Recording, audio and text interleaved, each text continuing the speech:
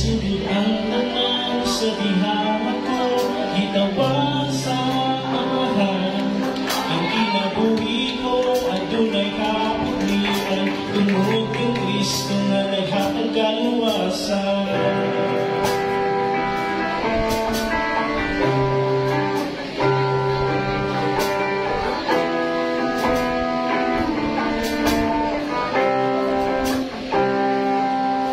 Gidala niya